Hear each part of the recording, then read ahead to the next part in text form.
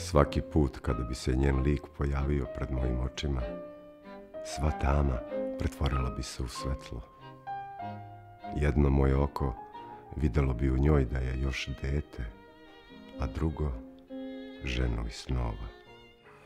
Lazar je bio moj prijatelj, a ona njegova čerka. A sve i da nije, ona je zaslužila bolje od večne lutalice koja je završavala svoju pesmu dok je ona svoju tek počinjala. Dete prose već pune dve godine, a ono neće da mu sreću kroje. Dragi Tesla, naumio sam da proslavimo ovaj dan. Pitate se zašto? Hoću da vas oženim. Kao da vas je tvorac poslao da mi mladoženju nađete.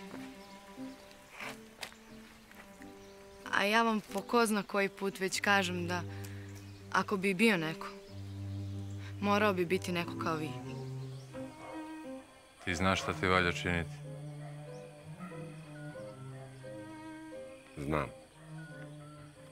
Nismo se odužili Dunđerskim za svu njihovu dobrotu i rodoljublje.